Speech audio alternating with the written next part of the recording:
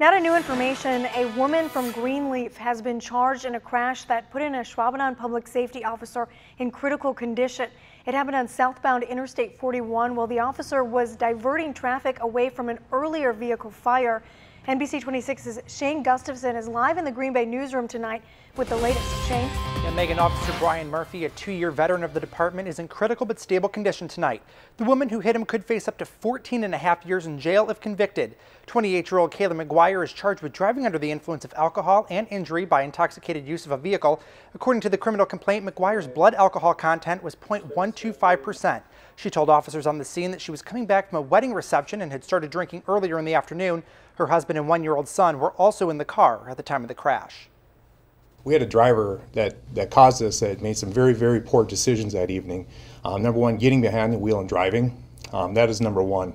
Um, poor decision making, this could have been alleviated. Officer Murphy underwent two life-saving surgeries after the crash. The Ashwaubenon police chief says his department has seen an outpouring of support since the incident. Officer Murphy does have children. The family is asking for privacy at this time. Live in the Green Bay newsroom, Shane Gustafson, NBC 26.